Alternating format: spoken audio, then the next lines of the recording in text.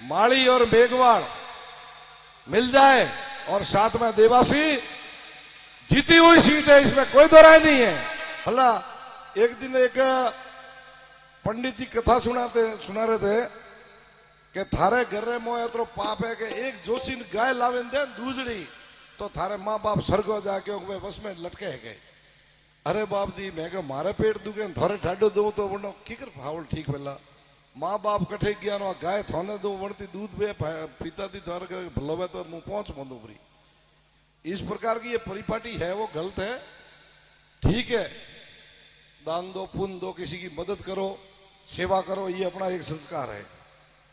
लेकिन मृत्यु बोल के के अपने जीव तो तो रोटी दी तो बुआ केड़े? ऊपर जावे जरा पसे के गाँव खवड़ाओ तो के अपना आगुतर कौम आवे, भाई, आगुतर तो जीव तो खवड़ाओ तो आई माँ बाप ज़िंदा है, उसकी सेवा करो। वही असली भगवान है, जिन्होंने इस संसार को दिखाया, वही असली भगवान है, जिन्होंने अपनों को किस तरीके से छोटी उम्र से लेके बड़ा किया, पेट में पाला, फिर जन्म लिया। पाँच साल तक तो उन्होंने हाथों पे रखा, फिर अपन इस अवस्था में आए हैं तो अपना फ़र्ज़ बनता है कि बूढ़े माँ बाप की सेवा करना, उनका अच्छे संस्कार सुनना और अपना परिवार भी उनके अंदर, उनके संस्कारों में रहे, इस प्रकार बने तो उनकी बीवी आत्मा संतुष्ट है कि मेरा मेरा बेटा पढ़ लिख करके अच्छा एक योग्य व्यक्ति बना है जो समाज में नाम कमाएगा। ये प्रकाश जी हमारे, मेरे गाँव में पढ़ाते थे, मालवाड़ा के रहने वाले हैं, अभी झाप जा रहे हैं, लेकिन इनका, हमारे गाँव के अंदर इतना इन्होंने मेहनत की, हमारे बच्चों को भी इन्होंने सुधारा। ऐसे व्यक्तियों की ज़रूरत है।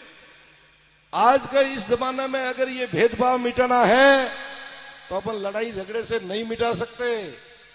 भेदभाव मिटाना तो उच्च शिक्षा प्राप्त करो, पढ़ाई करो तो ही मिट सकता है। आज कलेक्टर अगर आपके समाज का होगा, इस कुर्सी पे समकक्ष बैठेगा और वो एक टेबल पे खाना खाना की होट लग जाएगी। बूटा सिंह जी आते थे ना यहाँ, भारत के गृह मंत्री तो उनके साथ खाने के लिए और फ़ोटो खींचवाने के लिए लाइन लगती थी। तो वही बूटा सिंह जी ऐसी के थे अपन भी ऐसी के, क्या फ़र्क है भाई? आपका ब्लड डोनेशन करके आते हैं और वो ब्लड मैं बीमार होता हूँ, मेरे शरीर में चढ़ता है, क्या फ़र्क है वो? आप और हमारा खून एक है, लेकिन ये ऐसी परिपाटी पड़ी हुई है, उसको मिटाने के लिए शिक्षा बहुत ज़रूरी है। शिक्षा होगी थी मेरे एक काकार बेटा भाई है हमारे अंकल का लड़का। उसके साथ में एक मेघवाल समाज का लड़का है, अहमदाबाद में धंधा करता है, करोड़पति है, जाखल का रहने वाला है। हरलाल, करोड़पति यार विदेशों में माल जाता है उसका। और आज देखो तो उसका कोई नहीं कह सकता कि ये मेघवाल है। सारे लोग वो एक बर्तन में खाते कमाते हैं, सब करे करोड़पति है, करोड़पति। हकीकत में वो एक अभी हिसाब किया था दस दस करोड़ बनता है। और उधारी पड़ी दुनिया भर रईसाई से रह रहे तो व्यवसाय करो ना भाई। खूब ये ज़रूरी नहीं है कि अपन इस पढ़ाई में कर्मचारी ही बने। बहुत स्कोप है देश के अंदर। आजकल तो इंटरनेट पे सारा खुदरा है। इसलिए सब अपने इसमें पढ़े लिखे लोगों को इस लाइन से जुड़ जाओ तो व्यापार भी बहुत बड़ी चीज़ है। इतना मैं ज़्यादा नहीं कहूँगा, समय और भी है।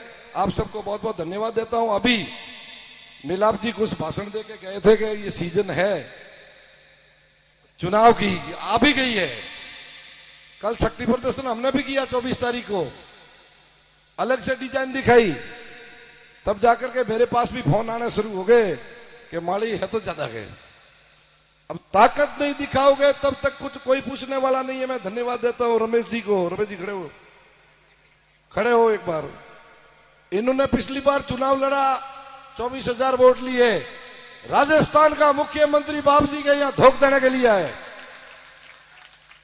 राजस्थान का मुख्यमंत्री बाप जी के यहाँ नमस्ते करने आए वो ताकत है चौबीस हज़ार वोटों की। थोड़ी भूल हो गई कि चितलवाड़ा बेल्ट की पेटी काउंटिंग लिस्ट मेरे पास है। उस बेल्ट के थोड़े वोट जितने भी आपके समाज के थे वो कम निकले। और बेल्ट के ज़्यादा थे। वहाँ दस, बीस, तीस वोट ऐसे स्वीकार आ रहे थे।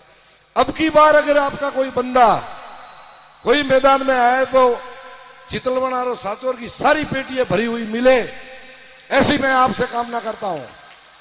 यह नहीं है कि रमेश जी इधर लड़े कांग्रेस वाले कांग्रेस को डाल दे, बीजेपी वाले बीजेपी को डाल दे, रमेश जी अकेले रह जाए, जो इनके अनुयायी वही डाले।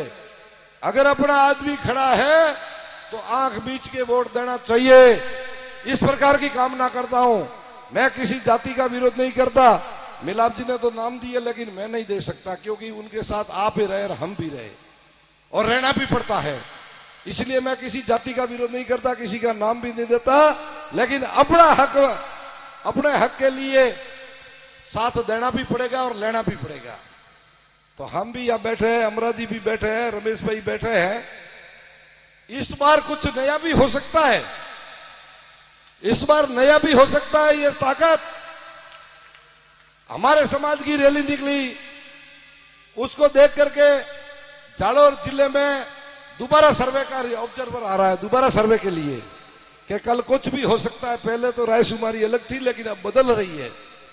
इस प्रकार अगर संगठित रहोगे तो रायशुमारी बदलने वाली भी है। माड़ी और मेघवाड़ मिल जाए और साथ में देवासी जीती हुई सीट है इसमें कोई दो राय नहीं है। क्लियर कट कह रहा हूँ। महात्मा ज्योतिबा फूले की मूर्ति लगानी थी। हम लोगों ने लाई, लगाने की तैयारी भी हो गई। पुलिस आकर के रुकवा भी दी। लेकिन मैं धन्यवाद देता हूँ, मेरी समाज में भी कहा था मैं को मेघवाल समाज के 500 कार्यकर्ता वहाँ आए। माली और मेघवाल मिले तो महात्मा फूले की मूर्ति चौराहे पे लगी, नहीं तो नहीं लगने वाली थी। ये मैं कह रहा हूँ, आपकी ताकत से लगी वह मूर्ति। कई लोगों को अखर रही है, लेकिन और चौराहे पे भी मूर्तियाँ लगी, किसी ने विरोध नहीं किया भाई। कल भी एक उद्घाटन हुआ मूर्ति का। किसने मना किया? लगे महापुरुष जिन्होंने बलिदान दिया उनकी लगनी चाहिए। किसी भी जाति बिरादरी की अमृता देवी की जो लगी ना मूर्ति लगनी चाहिए। अपन गौरव से कहते हैं कि उन्होंने वर्ग पर्यावरण की रक्षा के लिए वृक्ष काटने नहीं दिए। वृक्षों की सुरक्षा की। तो हमें कहा अतराज भाई उनकी लगनी चाहिए। वो महा, महान मानव है जिन्होंने वृक्ष की रक्षा के लिए अपना प्राण दे दिया। शहीद हो गई। तो ऐसों की मूर्ति लगनी चाहिए ताकि अपन भी पर्यावरण बचाने के लिए अपने में भी हौसला बढ़े। इसलिए ज्योतिबा फूले को, ज्योतिबा फूले तो बहुत बड़े मान थे भाई। इससे पहले तो अपन को शिक्षा वर्जित नहीं थी। मुझे भी यहाँ भाषण देने का अधिकार नहीं था और रमेश जी को भी नहीं था और न था अमरा राम जी को। शिक्षा वर्जित थी। उस जमाने में इन्होंने विरोध करके खुद पढ़ाई की, उन्होंने स्कूल खोला, खुद की धर्मपत्नी को पढ़ाया।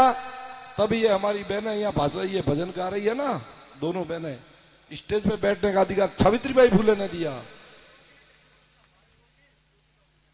हमें ओळखना हरू आप रे लारे प्रेरणा ले रहे बाप जी और ज्योतिबा फूलेरी, लिखोड़ी किताब पढ़ी ने अंबेडकर जी गुरु ने जो पूरा भारत रा, भारत रत्न प्राप्त किया हुआ ने अणवास्ते मैं नमन करूँ बारंबार अंबेडकर जी को, भीमराव अंबेडकर जी को, जिन्होंने भारत का संविधान बनाया और पूरे विश्व के अंदर नाम कमाया।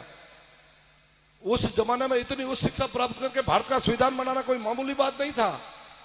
आज भी अपने सरकारी कार्यालय के अंदर या तहसील में, हमारे कई नए तहसीलदार है, तहसीलदार भी है कई अच्छी पोस्ट पे है बीओ है एबीओ है भाई लेक्चरर है, लेकिन उनको भी पोस्ट नहीं मिल रही है, अभी भी।